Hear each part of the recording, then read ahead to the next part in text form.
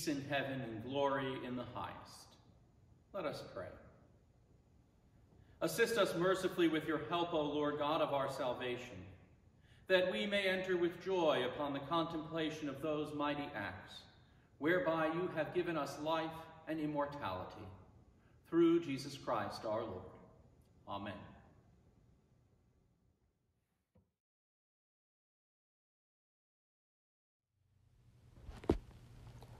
A reading from the Gospel according to Matthew.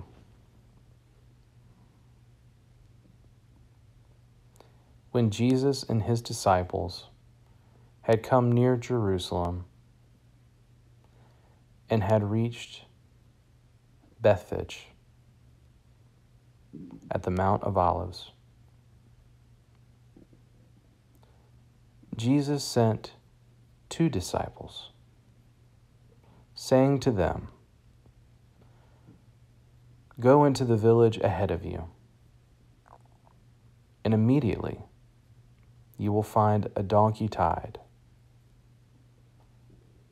and a colt with her.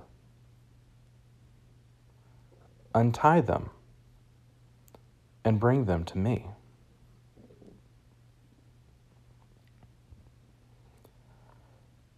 If anyone says anything to you, just say this.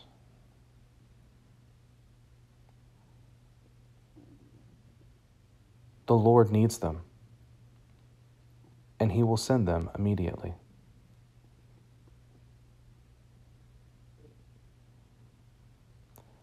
This took place to fulfill what had been spoken through the prophet saying,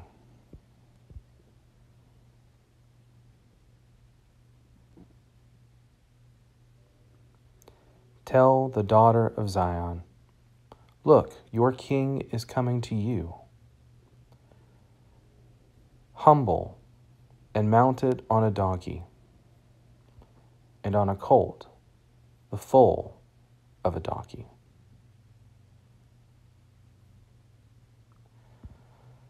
The disciples went and did as Jesus had directed them.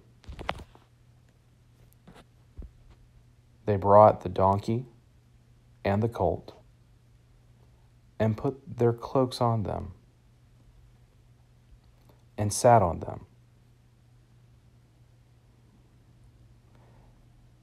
A very large crowd spread their cloaks on the road. And others cut branches from the trees and spread them on the road.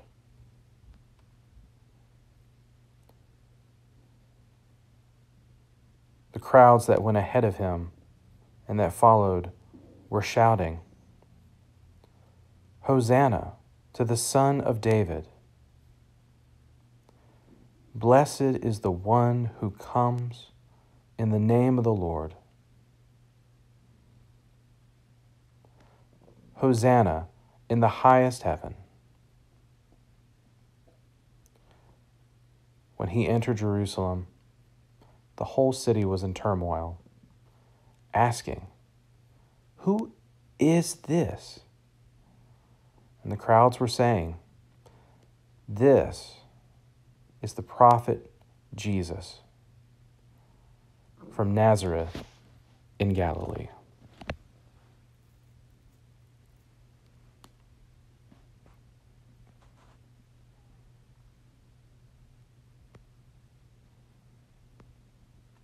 The word of the Lord.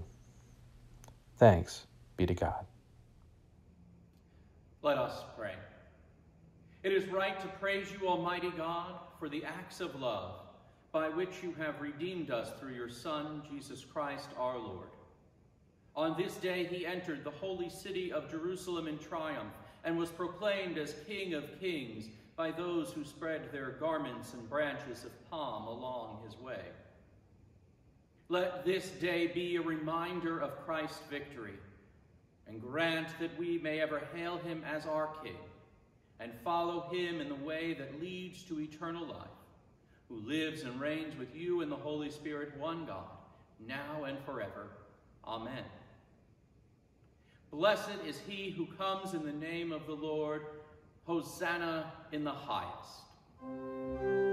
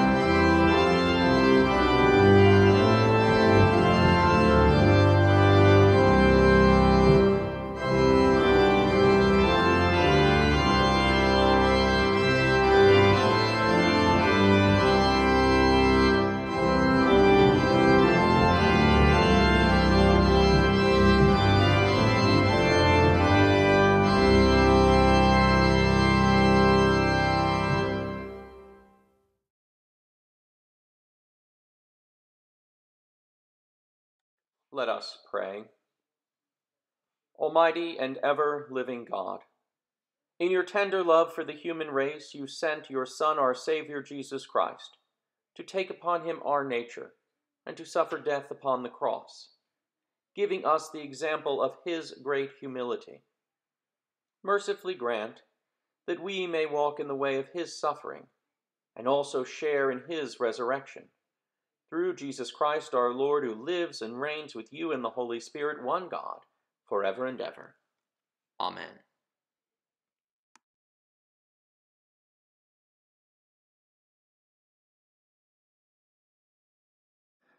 The Passion of our Lord Jesus Christ according to Matthew.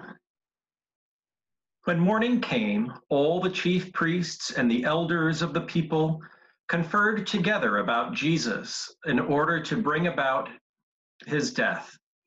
They bound him, led him away, and handed him over to Pilate the governor. When Judas, his betrayer, saw that Jesus was condemned, he repented and brought back the thirty pieces of silver to the chief priests and the elders.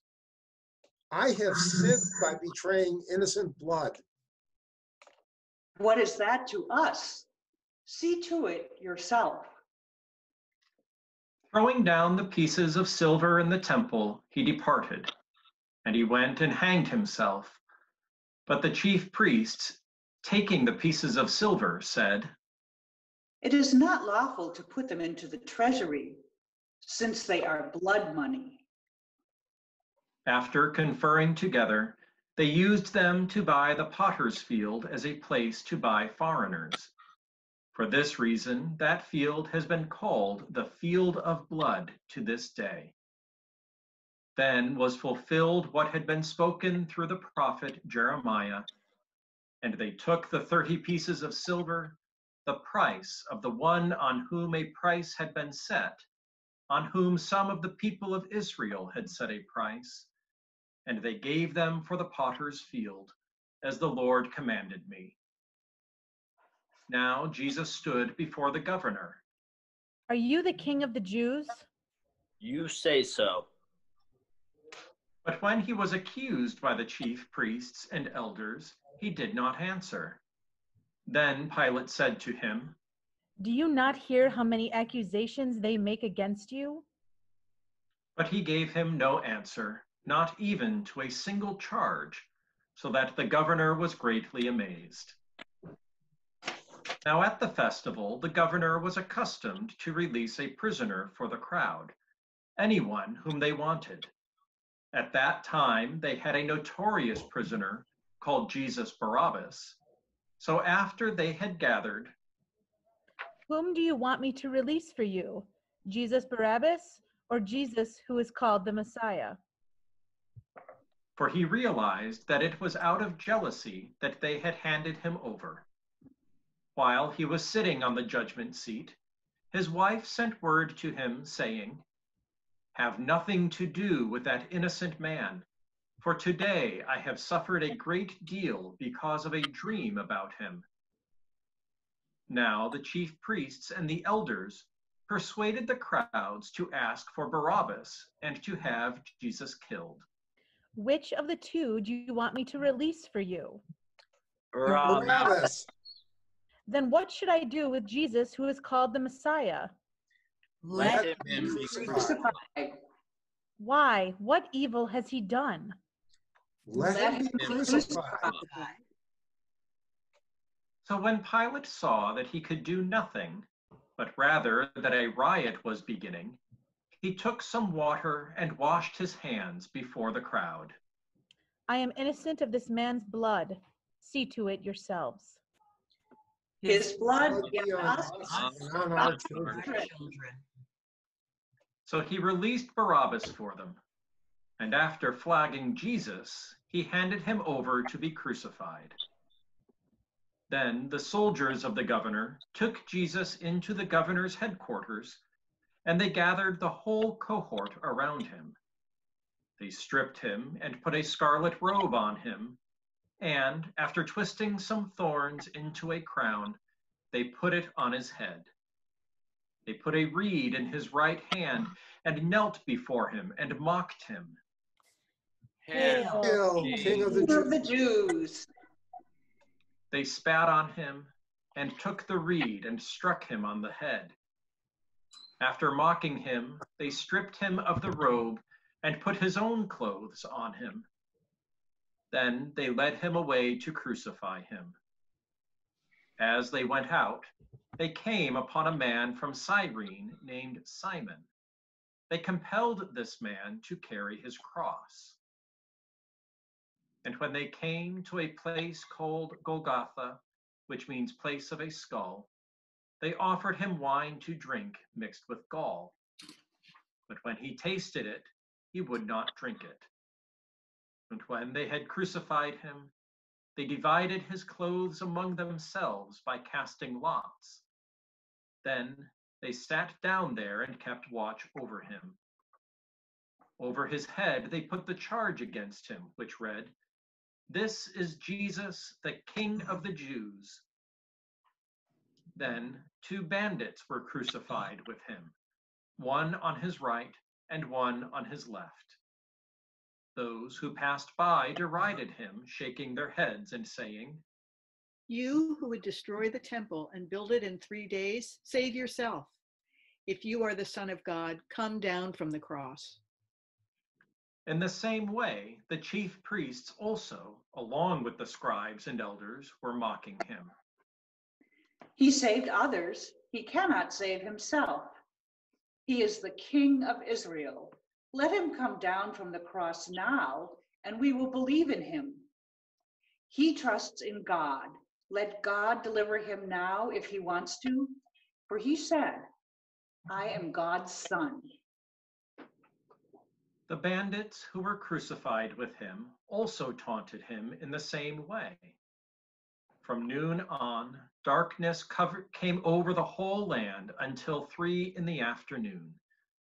And about three o'clock, Jesus cried with a loud voice, Eli, Eli, lema sabachthani.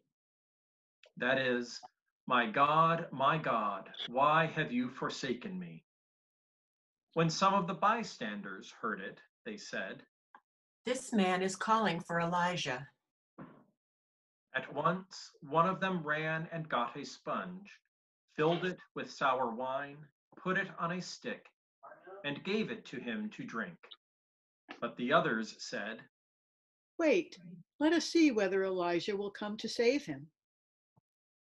Then Jesus cried again with a loud voice and breathed his last.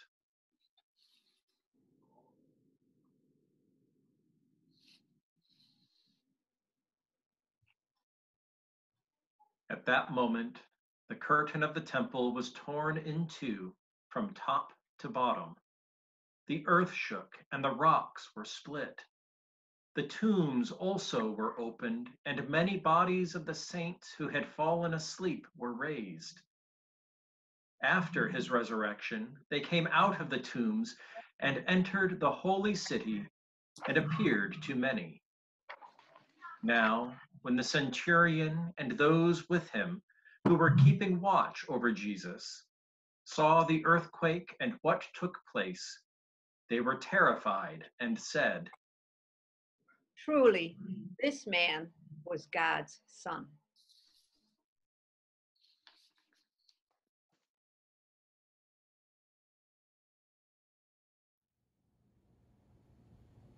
Palm Sunday has always been one of the most disconcerting worship experiences for me. Over the years, I have argued that we should just have the celebration of Christ's triumphal entry and let Good Friday be Good Friday, where we talk about the passion and death of Jesus. It might even be more historically accurate. Who knows? On the other hand, I have been known to argue that any allusion to palms after the Passion narrative is inappropriate. I wanted this Sunday to be about one or the other the triumphal entry of Christ or the passion of Christ. More so this year than ever before, I have come to learn that the sheer beauty and brilliance of this liturgy is in the realness of having both. We began by singing All Glory, Laud, and Honor. I hope you did at home. And by hailing Christ as King. And then our focus turned to the cross, and we became the mob yelling, Crucify him. Jerusalem was a busy city, and because it was the Passover holiday, more people than normal would have been there. Jesus entered the city with the twelve, and the other followers were hailing him as king. It probably, though, wasn't a huge spectacle. Now, I can imagine that many bystanders were wondering what was going on. Maybe some were even interested. Some probably snickered. Some fled. Others joined. In a few short days, Jesus would exit the city by the same gates, and a mob would gather to jeer him, throw things at him, curse him. Many of the same people were probably watching as he left for Golgotha carrying his cross. Most of his disciples, his loyal followers, abandoned him. This day, Palm Sunday, is not intended to make us feel good. It makes us live with a sense of discomfort. Our actions today, from hailing Jesus as King to shouting, Crucify him, make me uncomfortable. I'm sure it does you as well. Why? Well, because it is all too real. We know we walk a very thin line between civilized and uncivilized behavior. It doesn't take much to incite a mob. It doesn't take much for chaos to ensue. Yet, Each time we offer a helping hand to someone in need, we are like Simon of Cyrene who helped to carry the cross. Or each time we care for the friendless or the lonely or the vulnerable, we are like Joseph who carried the body to the tomb. And each time we weep with a friend who is in sorrow, we are like the faithful women who wept for their friend, their teacher, and their Lord. Each time we show or tell of God's love, we are like the first apostles and followers who walked the way of the cross, the way of the cross that because of the resurrection is none other than the way of life and peace. We can do that too as we walk alongside Jesus in our lives. The liturgical schizophrenia of the Sunday of the Passion, Palm Sunday, is not designed to tear us down. Its intention, I believe, is to challenge us to be a more faithful follower of Christ. We need Palm Sunday's message now more than ever. We walk a thin line between faithful followers and those who shouted, Crucify him. We can be part of the crowd that jeers Jesus as he carries his cross, or we can be part of the triumphal entry of the King who comes in peace, mercy, justice, and love. We can be silenced by the darkness, fear, and pessimism of our time, or by the words and deeds of our life. Make our troubled world cry out like that centurion. Truly, Jesus is the Son of God.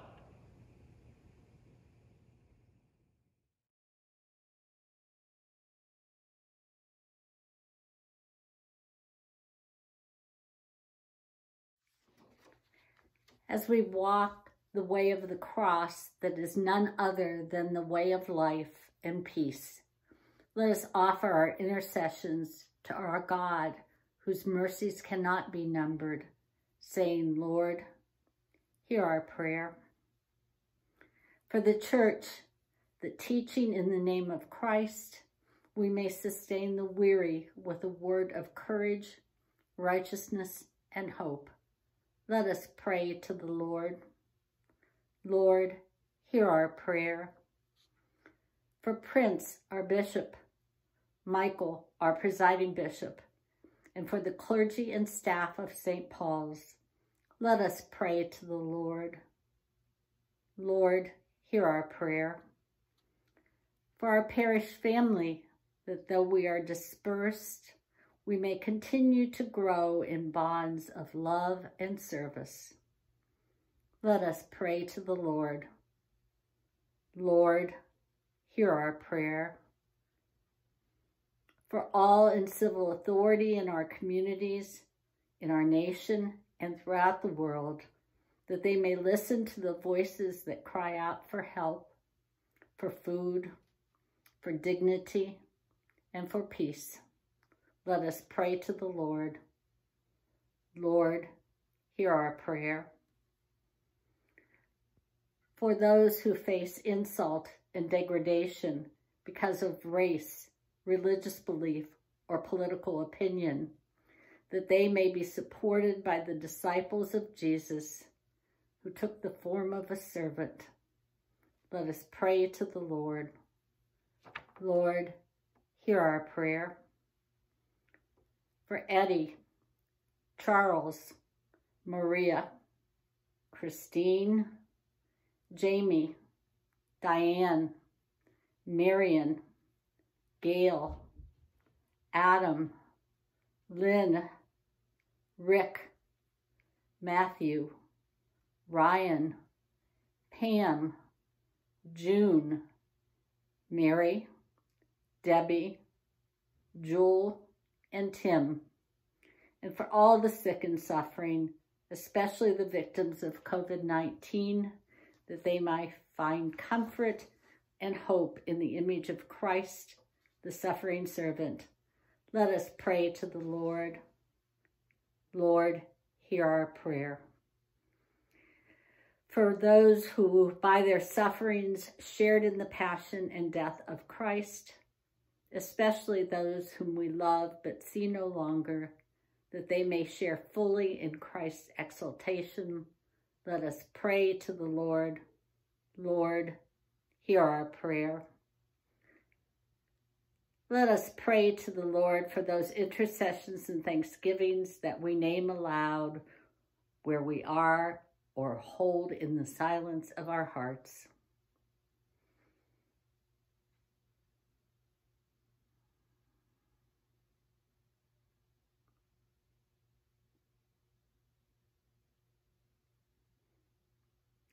Gathering now our prayers into one we pray as Jesus taught us, Our Father, who art in heaven, hallowed be thy name. Thy kingdom come, thy will be done, on earth as it is in heaven. Give us this day our daily bread, and forgive us our trespasses, as we forgive those who trespass against us. And lead us not into temptation but deliver us from evil. For thine is the kingdom and the power and the glory forever and ever. Amen.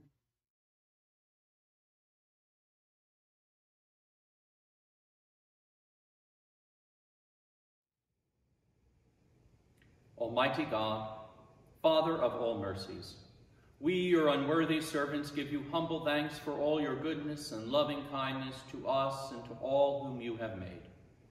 We bless you for our creation, preservation, and all the blessings of this life, but above all for your immeasurable love in the redemption of the world by our Lord Jesus Christ, for the means of grace and for the hope of glory.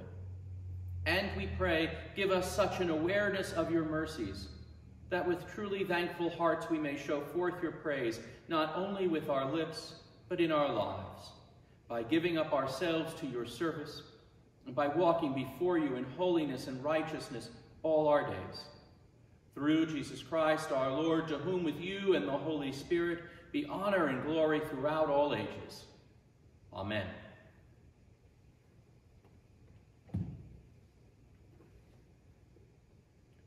Almighty God, we pray you graciously to behold this your family, for whom our Lord Jesus Christ was willing to be betrayed and given into the hands of sinners and to suffer death upon the cross, lives and reigns with you forever and ever.